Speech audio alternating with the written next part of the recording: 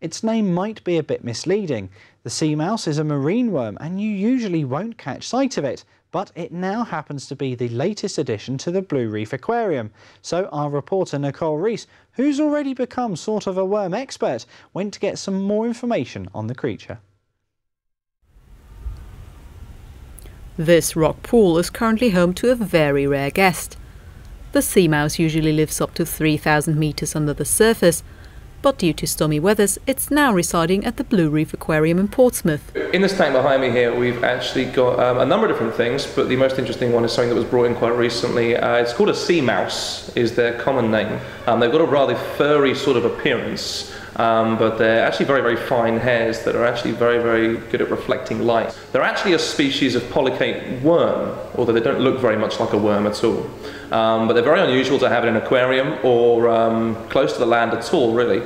Uh, it was actually found by someone who was walking on the beach, someone who actually used to work here, who spotted it, and it's obviously come up possibly during some stormy weather, uh, as they're normally found a lot deeper down um, and buried in the sand. So not too much is known about them and their sort of activity beyond um, when they've been found in the past uh, from other samples. So finding one in an uh, to have in an aquarium um, is quite rare and very interesting for us to see, obviously.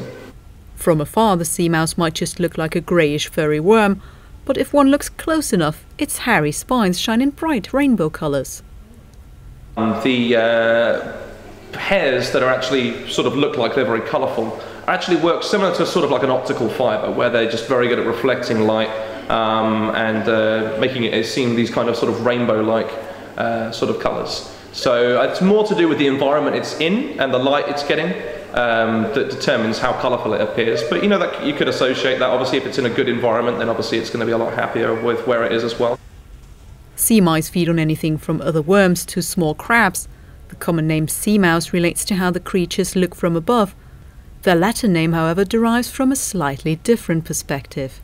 The Latin name Aphrodite actually comes yeah, from Aphrodite, the goddess of love, and it's actually because when you view the animal ventrally, or from underneath, uh, it actually resembles a female genitalia.